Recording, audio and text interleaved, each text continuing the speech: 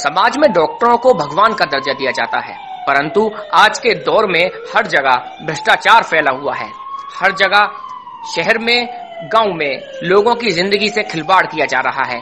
National news story के माध्यम से लगातार आपके सामने हम लाएँगे ऐसे ही कुछ पाखंडी डॉक्टरों को। तो सावधान हो जाइए, आपकी ज़िंदगी आपके हाथ में ही है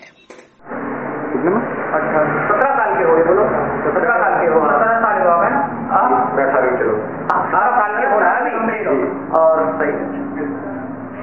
वो निशान पंद्रह साल के हैं। सही। कौन लगाता है इंजेक्शन वगैरह? इंजेक्शन वगैरह कौन लगाता है? डॉक्टर और ये पेशेंट है लोग दूसरे हैं कौन? हाँ? कौन है? ये ये पेशेंट के साथ वाले अरे हमको जाके ये सेक्टर वाले। और ये भी जो बात कर रहे हैं फ़ोन पे। और ये मेडिकल स्टोर है। इसे कौन देखता है? हैं? अच्छा इनका लोग मेडिकल आप देखते हो? नहीं सर अब तो फ़िलहाल मैं हूँ वैसे पर जो डॉक्टर साहब नहीं है हाँ। तो, तो सारे बैठ जाते हैं मेडिकल पे तो। मैं कोई भी मेडिकल देख लेता है कोई भी सारा काम मिला जुला कर लेते हैं। है? ये मिला जुला सारा काम कर लेते हैं। और आपकी क्या क्वालिफिकेशन है? ये भी इलेवेंथ कर रहे हैं ये भी इलेवेंथ और आपकी क्या क्वालिफिकेशन है? आप भी इलेवेंथ कर रहे हैं इलेवेंथ कर रहे हैं ये बच्चे। और यहाँ ये किसका है हॉस्पिटल डॉक्टर सुरेश कुमार। है? ठीक है प्रवेश प्रवेश ये डॉक्टर प्रवेश कुमार। अच्छा जनरल फिजिशियन है ये बी ए एम एस है ये। ये मेन हॉस्पिटल का और ये कौन है डॉक्टर अवधेश चंद? ये सर्जन है।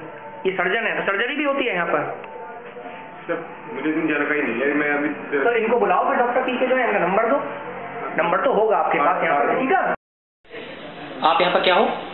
मैं सीख रहा हूँ। आप काम सीख रहे हो। यहाँ डॉक्टर साहब के पीछे उनका अटेंडेंट कौन है? जो मैनेजमेंट देख रहा है अभी आप बताया गया कि अटेंडेंट आप हो आप मैनेजमेंट देख रहे हो यहाँ का? सर मैं तो रात में आता हूँ मैं दिन में तो कभी कभार उठता हूँ। आपकी क्वालिफिकेशन क्या है? मैं ग्यारहवीं करता हूँ। ग्यारहवीं कर रहे हो? ग्यारहवीं पेपर दिए थे। ग्यारहवीं के पेपर दिए थे। यानी अभी आप ट्वेल्थ पास भी नहीं हो। तो आप क्या सीख रहे हो यहाँ पर? डॉक्टरी का काम? तो डॉक्टरी में इंजेक्शन वगैरह लगा लेते हो आप? सीख रहा हूँ अभी। इंजेक्शन वगैरह लगाना सीख रहे हो? जी सर। और आपका क्या नाम है? और आप क्या करते हो? डॉक्टर सीख आप भी डॉक्टरी सीख रहे हो? तो आप क्या कर रहे हो यहाँ पर मतलब इंजेक्शन वगैरह लगा लेते हो ढंग से? आता भी है ऐसे ही बेफालतू में? अभी तो आ रही है। तीसरा दिन आ है। तीसरा दिन है। आप पे इंजेक्शन वगैरह लगाने भी आते हैं ऐसे ही सर मैं मुझे कम से कम अभी दो महीने हुए हैं। तो क्या क्या सिखाया? अभी तो रात में आता हूँ मैं तो वो लगा लेते हो? ड्रिप वगैरह लगा लेते हो पेशेंट के? सीख रहे हो अभी? वो सब लगाना लगाना अभी सीख रहे हैं ये लगाना। और देखिए, यहाँ पर ये ऑपरेशन होते हैं। ये पूरा, अभी लाइट की व्यवस्था यहाँ पूरी सुनिश्चित नहीं है।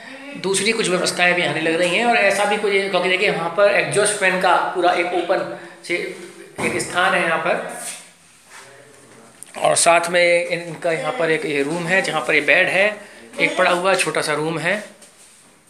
तो यहाँ पर बाकायदा इस सक्शन ये मशीन है। और ये देखिए, ये यहाँ पर हाथ वगैरह धोने के लिए ऑपरेशन के दौरान यहाँ पर ये बड़ा ही गंदा सा पड़ा हुआ एक स्पेस है।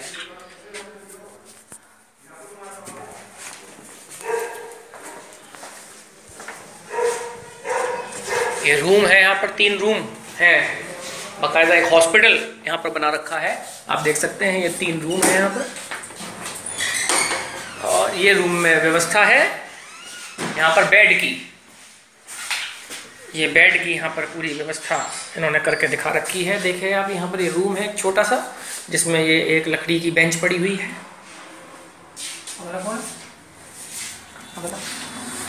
एक बार वो दूसरा भी खोल के दिखा दीजिए। दूसरा भी बिल्कुल सेम उसी के रूपरेखा का पूरा एक रूम बना हुआ है ये।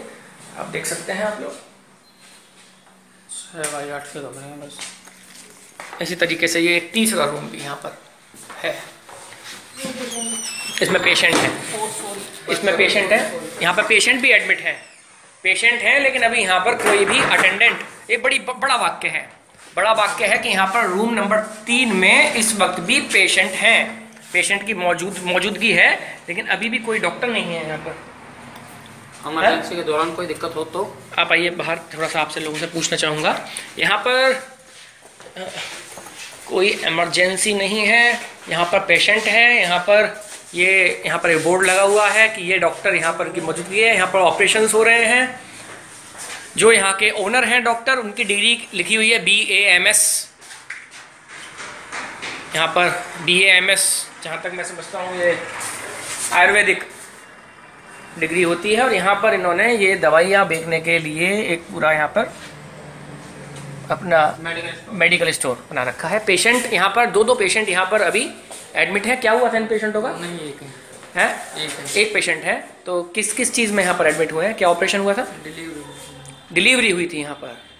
यहाँ पर डिलीवरी हुई है। ऑपरेशन से हुई थी।